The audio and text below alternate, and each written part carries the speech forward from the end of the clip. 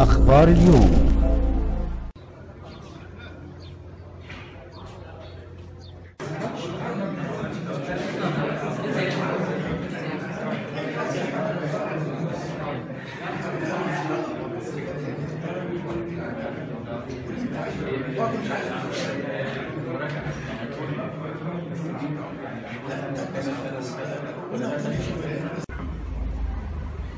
سيادة اللواء آه، آه، كلمنا عن الجولة اللي حضرتك عملتها داخل مدرسة الإبراهيمية وبعض المدارس الأخرى داخل محافظة القاهرة. الجولة تهدف إلى آه، اطلاع المدرسة بدورها نحو الطلبة لأنهم المعنيين بالتربية هم المعنيين بالتعليم والتربية. ف ما ينفعش إن يحصل تصرفات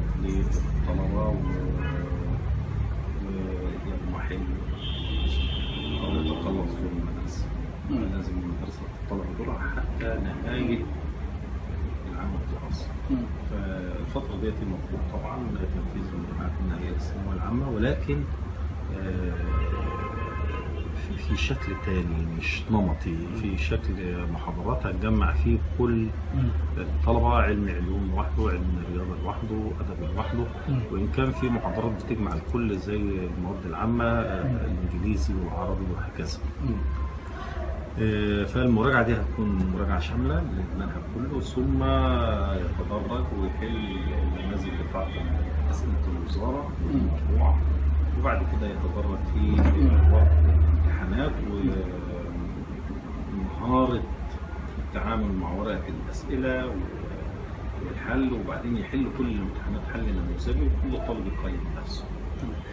هل هناك تنسيق ما بين المحافظة وما بين وزارة التربية والتعليم ليس آه، فقط في هذه التجربة لكن في تجارب أخرى؟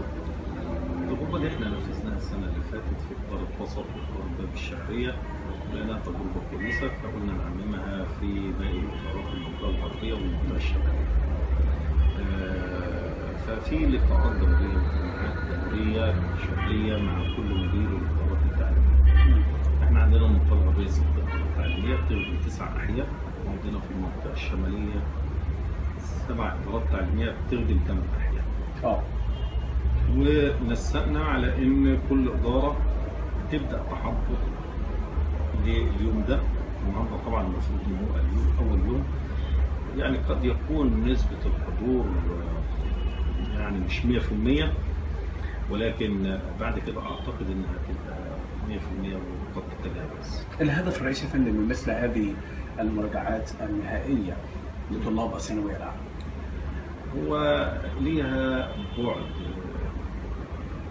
يعني اقتصادي يعني ان إحنا بنحاول ان إحنا نخفف العبء على كاهل ولي الأمر ونقضي على الدروس الخصوصية وفي نفس الوقت المدرسة لازم تقوم بدورها على أكمل وجه حتى آخر يوم في الدراسة والطالب لابد إن هو يعرف إن دي دولة مؤسسات ويحضر في المدرسة لأن المدرسة تعتبر بيته الثاني اللي بيتعلم فيها كل حاجة، بيتعلم فيها القيم والنصب والأخلاق والانتماء والولاء ويرسخ جواه كل ال- الحاجات الجميلة لأن هو نفس الطالب ده اللي يحمل وجه. شكرا